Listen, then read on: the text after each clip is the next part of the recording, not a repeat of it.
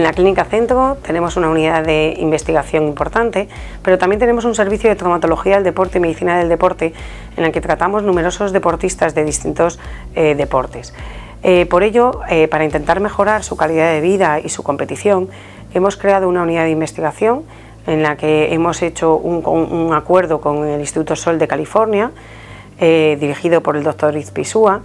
y hemos querido mirar qué problemas tenemos con nuestros pacientes para intentar solucionarlos. Por ello hemos decidido empezar con las lesiones musculares. Las lesiones musculares es una de las causas más frecuentes de baja en la competición de los deportistas, en cualquiera, pero sobre todo en el fútbol. Eh, siempre eh, en cualquier jornada de fútbol de liga profesional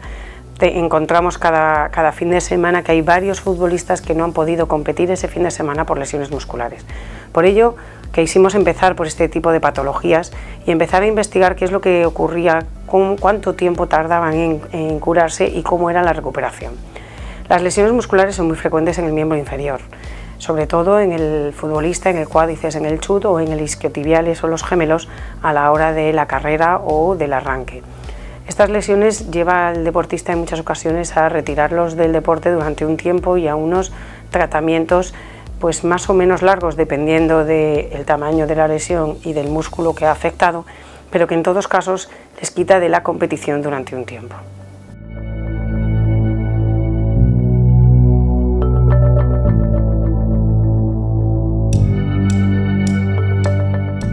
En vista de la gran prevalencia que tienen estas lesiones musculares, el objetivo de este estudio será, primero, en animales pequeños, identificar cuáles son los factores que influyen en la recuperación de estas lesiones, qué factores influyen también en acortar este periodo de recuperación y de alguna manera en conocer cuáles son los mecanismos por los cuales se recuperan este tipo de lesiones. Sabemos que estos factores son unos factores solubles y nuestra, nuestra intención es identificar estos factores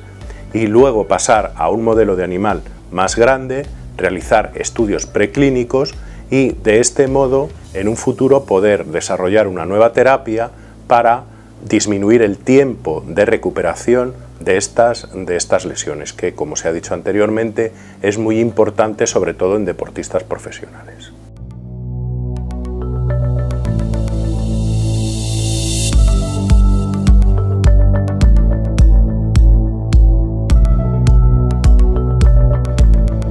En la Clínica Ciento siempre hemos apostado por el deporte, pero también por la investigación. Por ello, en este trabajo lo que intentamos es unificar nuestros dos retos y lograr, sobre todo, la mejora de nuestros pacientes.